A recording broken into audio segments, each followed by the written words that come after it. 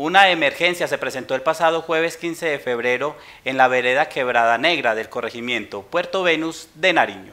Un río de piedras y lodo que bajó a gran velocidad se llevó por delante una escuela, un puente y 12 viviendas. Pese a eso, el alcalde municipal Carlos Arturo Marín indicó que no se presentó ninguna víctima mortal, pero que fueron alrededor de 50 las familias que debieron ser evacuadas de la zona ante este hecho. Quiero agradecer a la Gobernación de Antioquia, al DAPAR, a Secretaría de Infraestructura, a Cornare que han estado pendientes de esta problemática que estamos teniendo en nuestro corregimiento. Pues este es un problema que se ha venido presentando desde hace varios días ya y que sabíamos la problemática, es una falla geológica que tenemos desde el Piñal.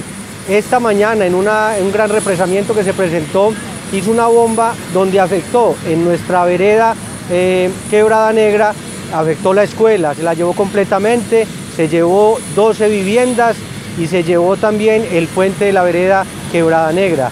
Tenemos en nuestro corregimiento unas 15 familias también que tenemos que reubicar en la parte baja porque todavía hay unos represamientos en la parte superior y unos deslizamientos que nos pueden afectar.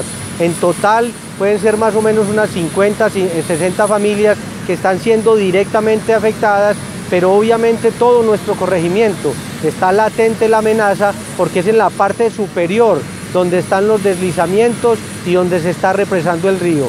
Como les decimos, tuvimos la visita obviamente de la parte técnica del DAPAR y nos están dando una información muy importante para continuar enfrentando esta emergencia y esta amenaza. La invitación es al gobierno nacional, departamental, a todas las instituciones que nos ayuden, que nos acompañen y a nuestra comunidad que conserven la calma. Estamos aquí al frente del problema con nuestra comunidad dándole la cara a la problemática para que poco a poco salgamos de este problema.